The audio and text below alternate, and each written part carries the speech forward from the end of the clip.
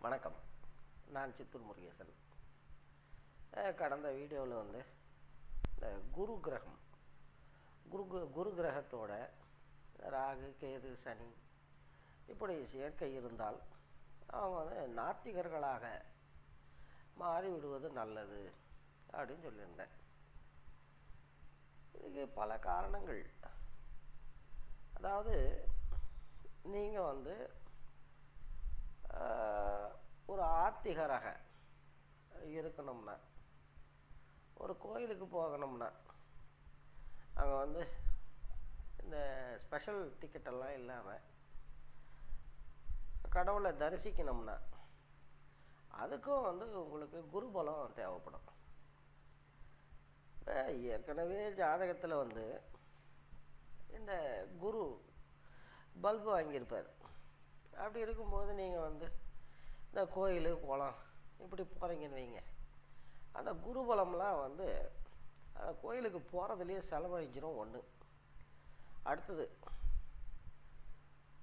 நீங்கள் எதுவாக வாழ உங்கள் ஜாதகம் படித்திருக்கிறதோ அப்படி வாழற வரைக்கும் பிரச்சனை கிடையாது.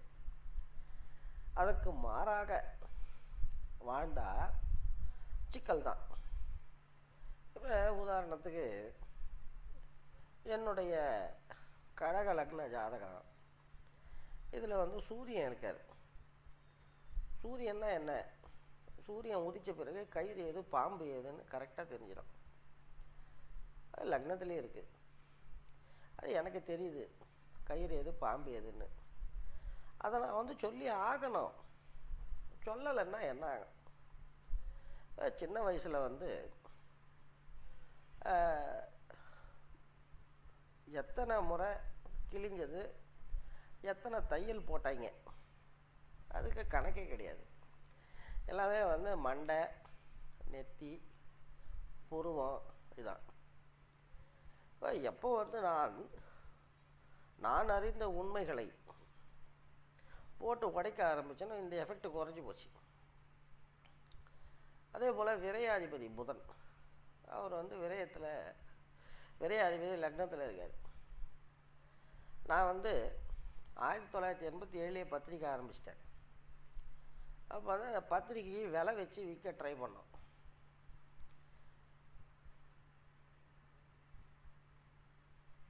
அது அந்த அனுபவங்கள். அதுக்கப்புறம் வந்து என்ன ஆகுதுன்னா அதற்கு பிறகு ரெண்டாயிரத்தி ரெண்டில் நினைக்கிறேன். லோக்கலில் ஒரு பத்திரிக்கை ஆரம்பிக்கிறோம். அது ஆட் பேஸ்டு இலவச விநியோகம். நான் வந்து என் கையால் நான் என் பணத்தில் பண்ணுறேன்னா ஊரார் பணத்தில் பண்ணுறேன்னா அது வேற கதை. புதன் என்றால் எழுதுபொருள். நான் வந்து இலவசமாக விநியோகிக்க விநியோகிக்க விநியோகிக்க அந்த தோஷம் குறைஞ்சி போச்சு. இப்போ நம்ம புஸ்தகத்தை வந்து விலை கொடுத்தும் வாங்குறாங்க. அப்பொழுதும் நான் வந்து அப்பப்போ பம்பர் ஆஃபர் ஸ்பெஷல் ஆஃபர் அப்படின்னு அனௌன்ஸ் பண்ணி அள்ளி விட்டுருது. ஏன்னா தோஷம் குறையுது. இப்படித்தான். இப்போ உங்கள் ஜாதகத்தில் வந்து குரு ராகுவோடோ கேதுவோடோ சனியோடு சேர்ந்துருக்கிறனா நீங்கள் நாத்திகர் ஆக வேண்டும். நீங்கள் ஒரு ராத்திரியில் ஆகிறீங்களா? இல்லை வாழ்நாள் முழுக்க இறை நம்பிக்கையாளராக இருந்து அவதிப்படுறீங்களா? அப்படிங்கிறது உங்கள் சௌகரியம். இப்போ என் ஜாதகத்தில் குரு உச்சம். ஏதோ ஒரு ஜோசிய புஸ்தகத்தில் தான் படித்தேன் இது என்ன இது கபால மோட்சம் கிடைக்குமா? லக்னத்தில் குரு உச்சமாக இருந்தால் குண்டலி சர சர சரன்னு ஏறி சகசிராரத்தை போய் சேர்ந்துருமா? ஆனால் நான் ஒரு பகுத்தறிவற்ற ஒரு இறை நம்பிக்கையாளனாக ஒரு விமர்சன பார்வையற்ற இறை நம்பிக்கையாளனாக இருந்த வரைக்கும் பிச்சை எடுத்தேன். எப்போ வந்து நான் எதையும் ஒரு சந்தேக கண்ணோடு பார்த்து பகுத்தறிவுடன் ஆய்ந்து என் பகுத்தறிவு ஏற்றுக்கொண்டதை மட்டும் ஏற்றுக்கொண்டு மற்ற டக்கால்ட்டி வேலையெல்லாம் கிளி கிளின்னு கிளிக்க ஆரம்பிச்சினோம். அதுக்கப்புறம் தான் நான் வந்து ஃபைனான்ஷியலாக வித்ஸ்டாண்ட் ஆகிட்டேன் இது அனுபவம். இப்போ கடவுள் அவர் வந்து கருணை வடிவானவர். உங்களை வந்து இந்த மாதிரி ஒரு கிரகஸ்திதியில் உள்ள ஜாதகத்தில் பிறக்க வச்சாருன்னா அவருக்கு உங்களுக்கு எதனா வாய்க்கா வரப்பு தகராறு இருக்கா? கிடையாது. நீங்கள் வந்து போன ஜென்மத்தில் கல்யாணம் காட்சி இல்லாமல் காசு பணம் இல்லாமல் குழந்தை குட்டி இல்லாமல் கோயில் கோயில் கோயிலுன்னு பொழுத போக்கியிருப்பீங்க கடவுள் வந்து சரி இந்த பிறவிலையாவது கொஞ்சம் அனுபவிக்கிட்டான் அப்படின்னு தான் இந்த மாதிரி ஜாதகத்தில் படிச்சிருக்காரு. ஆனால் இந்த பூர்வ வாசனைகள் பூர்வ ஜென்ம வாசனைகளின் காரணமாக மேலும் அப்பா அம்மா வாத்தியாருங்க அக்கம் பக்கம் இதெல்லாம் ஃபீடட் நாலேஜ் இதன் காரணமாக ஒரு எந்திரத்தனமாக வந்து நீங்கள் வந்து கோயில் குளம்னு போக ஆரம்பிக்கிறீங்கன்னு வைங்க.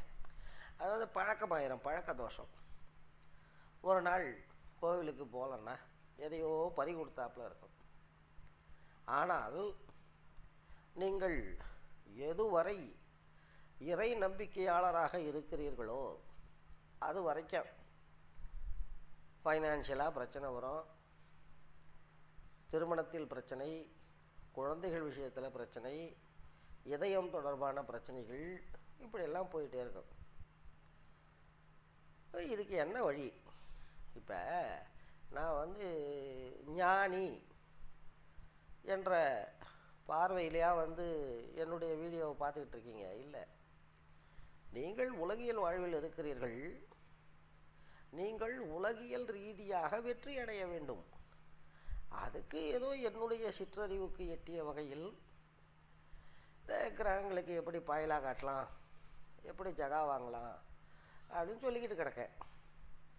இப்போ உங்களுடைய லோகாயத்த வாழ்க்கை உலக வாழ்க்கை தான் முக்கியம் எனக்கு.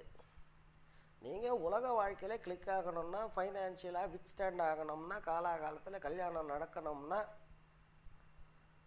பஞ்சாதியோட ஒழுங்கு மறுவாதியாக கொடுத்துணும் நடத்தணும்னா காலாகாலத்தில் குழந்தை குட்டின்னு பெற்றுக்கணும்னா கோவிலுக்கு ஒரு சல்யூட் அடித்து ஒதுங்கிடுங்க உங்களுக்கு பயமாக இருந்தால் திராவிட சித்தர் வாழும் சித்தர் பெரியார் அவரை துணைக்கி வச்சுக்கோங்க. என்ன? அவரை துணைக்கி வச்சுக்கோங்க. அவர் எழுதிய நூல்களை படிங்க. அவருடைய பேச்சுக்களை கேளுங்க. இன்றைய தேதிக்கும் என்ன? இன்றைய தேதிக்கும் பெரியாருடைய பேச்சும் எழுத்தும் எப்படி கூலோச்சுகிறதுன்னு பாருங்கள் ஆட்டோமேட்டிக்காக ஒரு தில்லு வரும் தைரியம் வரும். அதை விட்டு போட்டு ஒரு நாள் போகலாமா ரெண்டு நாள் போகலாமா இப்போ பென்சிலின் இன்ஜெக்ஷன் இருக்குது அது உயிர் காக்கும் மருந்து. தொண்ணூத்தெட்டு பேருக்கு உயிரை காக்குது. டெஸ்டிங் டோஸ் போடாமல் டைரெக்டாக போட்டால் ரெண்டு பேரை அடித்து தூக்கிடுது உயிர் தானே முக்கியம் பென்சிலினா முக்கியம். இங்கே. கடவுள் தான் பென்சிலின் தொண்ணூத்தெட்டு பேருக்கு ஒர்க் ஆகுது. உங்களுக்கு ஒர்க் ஆகலை. என்ன பண்ணணும்?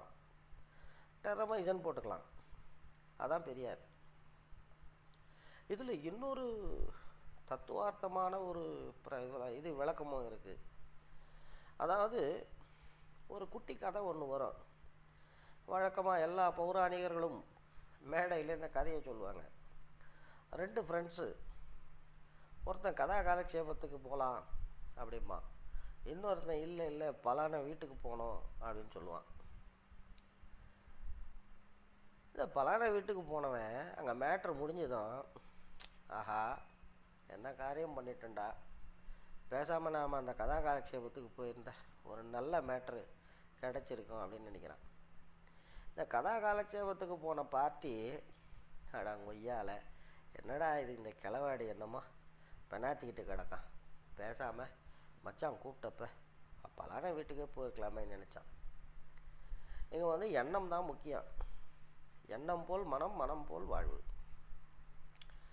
நீங்கள் சதா சர்வகாலம் கோயிலுக்கு போய் போய் போய் உங்கள் ஜாதகத்தில் ராகுவோடோ கேதுவோடோ சனியோடோ சேர்ந்த குருவை சும்மா வெறுப்பேற்றிக்கிட்டு இருக்கிறத விட இதில் உங்களுக்கே தெரியும். இன்னர் சென்ஸ் சொல்லும். கோயிலுக்கு போகாதரா பக்கி. போனால் தான் பிரச்சனையே அதிகமாகுதுன்னு. ஆனாலும் போயிட்டே இருப்பீங்க. போய் வ போய் போய் வர்றது. வந்து கடவுளுக்கு கண் இல்லையா காது இல்லையா? இப்படியெல்லாம் பேசிக்கிட்டு கிடக்கிறது. இதை விட நீங்கள் இந்த கோயில் குளம் எல்லாத்தையும் மூட்டை கட்டி வச்சுட்டு பெரியாருடைய பகுத்தறிவு கொள்கைகளை படித்துக்கொண்டு மற்றவெல்லாம் வந்து ஆஸ்திக பெருமக்கள். வருஷா வருஷம் ஒரு கோயிலுக்கு போவாங்க. இது பழக்க தோஷம். ஏன்னா பழக்க தோஷம். அதுக்கு ஆல்டர்னேட்டிவ் சொல்கிறேன் அவ்வளோதான் சென்னைக்கு போங்க பெரியார் திடலுக்கு போங்க. அவருடைய சமாதி முன்னே ஒரு பத்து நிமிஷம் உட்காந்து மெடிடேட் பண்ணுங்கள் அவர் பிறந்த வருடம் என்ன? அவர் வாழ்ந்த காலகட்டம் என்ன?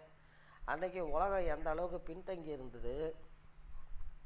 அன்னைக்கு இன்னைக்கு இந்த மருத்துவ விஞ்ஞான முன்னேற்றங்களை ஒப்பிட்டால் எவ்வளோ பெரிய வித்தியாசம்?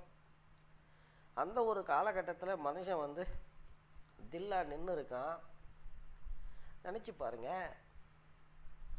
எனக்கு துணை நில்லு அப்படின்னு ப்ரே பண்ணுங்க. தப்பு கிடையாது.